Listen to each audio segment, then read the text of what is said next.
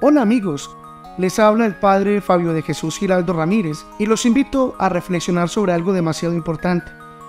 La vida es como una cuerda, una cuerda que tiene un inicio pero que no tiene un fin.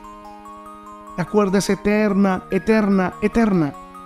Pero el inicio de la cuerda, la misma que está de color rojo, es lo que representa nuestro tiempo aquí en la tierra. Es decir, tenemos unos cortos años aquí en la tierra y luego pasamos a la eternidad. Y la eternidad solo tiene dos destinos, o salvación eterna o condenación eterna. Y el destino depende de cómo vivamos en esta tierra. Si amamos a Dios y a los hermanos o no. Si obedecemos los mandatos de Dios o no. Si nos ponemos de parte de Dios o no. Si practicamos la misericordia y la caridad o no. Ahora, lo impresionante es que muchos seres humanos solo piensan en esta parte roja, es decir, solo viven para este mundo, trabajan para este mundo y se esfuerzan para este mundo, perdiendo de vista que les espera una eternidad.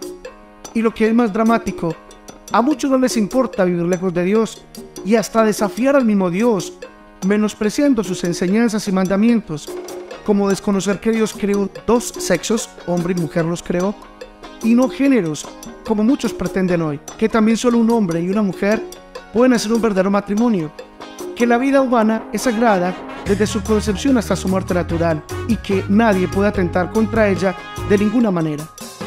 Y que para custodiar estas enseñanzas, el Señor constituyó la iglesia, la misma que edificó en la persona de San Pedro, para enseñar la verdad, defender lo natural, administrar lo sagrado, hacer presente a Cristo con su cuerpo y sangre alimento que nos da vida eterna, y mostrarnos así el camino que nos lleva al cielo. Todo esto en unión con la Santísima Virgen María, que no cesa de orar por la humanidad, que no cesa de invitarnos a la conversión y de consagrarnos a su Inmaculado Corazón.